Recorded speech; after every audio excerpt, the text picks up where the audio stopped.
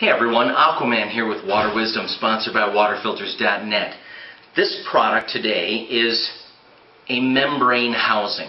Part number MH091812WH.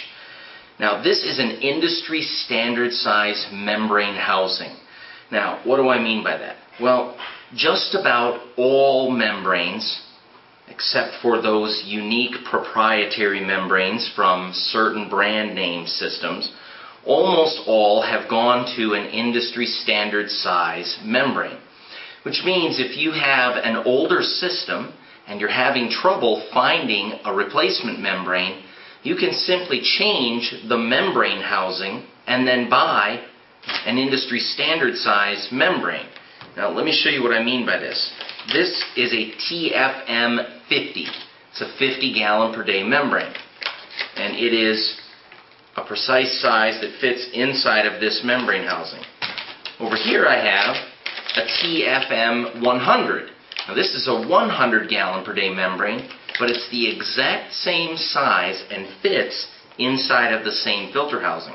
And there are several others that will also fit inside of this membrane housing that are industry standard size. So if you're having difficulty finding the correct membrane for your system, don't worry about it. Buy a new membrane housing. They're not that expensive. It's very easy to install. It's going to be just like what you have right now. One inlet on the one end and two outlets on the other end. One for good water and one for drain water. And that's it. And then buy an industry standard membrane that you can get and replace very easily going forward because Everybody's making them this size now. It's going to be decades before we see any changes. Now, the one thing you need to concern yourself with is the flow restrictor on your system. Okay, now what is a flow restrictor? The two outlets on this end, one of them is a drain line that goes to the drain, obviously. If there were not a flow restrictor on that water line, well, the water would just take the path of least resistance and all of it would go down the drain. None of it would push through the membrane by pressure and end up on the good water side.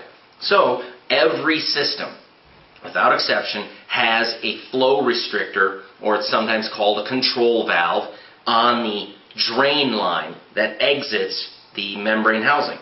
So if you are changing your system, then you either need to use the existing flow restrictor in the new housing or you need to purchase the appropriate one to go with your membrane. Now, there are two types of flow restrictors. There is the Quick Connect external variety, and this has quarter inch Quick Connect fittings on either end, and it's simply waterline in, waterline out, and the restrictor is built into this device.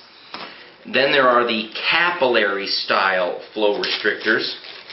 Pop one out of this little Ziploc baggie. They're very small. Maybe you can see it against that white backdrop there. It's just a small capillary. It's, it's like a little tube.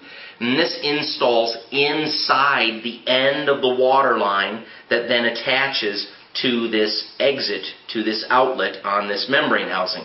And obviously, not very much water can get through here, and so it's going to create pressure that's going to force water through the membrane so the water gets to the good side. But you need to match the gallon per day rating of your membrane with your flow restrictor. If you have a 50 gallon per day membrane, you need a 50 gallon per day flow restrictor. If you have a 100 gallon per day membrane, you need a 100 gallon per day flow restrictor.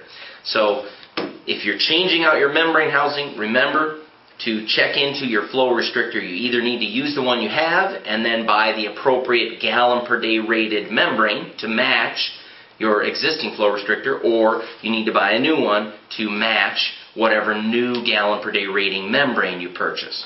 So this is the MH091812WH membrane housing, and it's an industry standard size, and you can use this to replace your membrane if you're having trouble finding the appropriate replacement. And that happens a lot on older systems.